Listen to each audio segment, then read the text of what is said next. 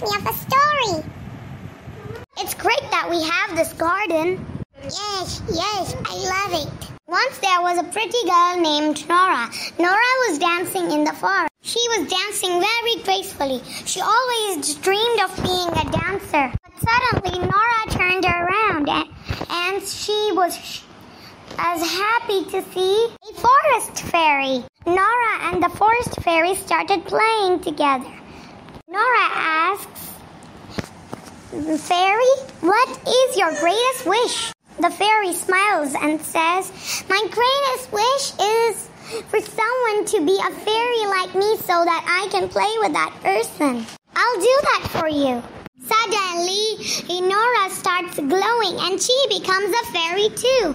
Now, now Nora is a beautiful fairy and she realizes that when and somebody wants to fulfill the fairy's wish with all their heart, they fulfill the wish. Nora and the fairy officially become sisters.